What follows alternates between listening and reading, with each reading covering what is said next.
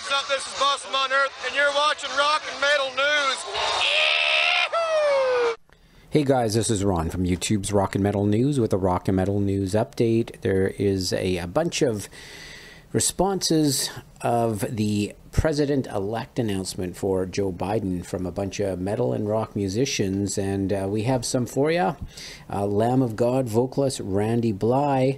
he says, This terrible atmosphere that has hung over America for the last four years will begin to lift. And Ted Nugent, he says, the United States is, uh, he said, the devils are about to take control of America. Behemoth frontman Nergal, uh, he has stated, it feels like a big effing relief. So this is it. I saw the CNN announcement and it feels like a big effing relief, honestly. Why it is a relief for a Polish guy from the other side of the globe?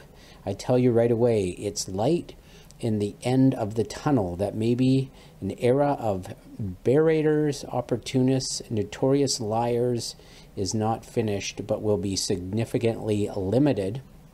Mick Jagger from the Rolling Stones, he said, looking forward to coming back to an America free of harsh words and name calling. And Queen's guitarist Brian May has stated, The world is rejoicing in the fact that it's getting its best friend back, our friend America.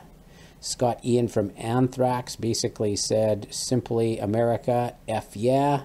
And Mark Morton, guitarist from Lamb of God, he said, Y'all can be mad at me all you want, but I'm glad that Biden won, and I'm glad that the Republicans will keep the Senate. So those are just a few reactions. This is Ron from YouTube's Rock and Metal News. Thanks for tuning in.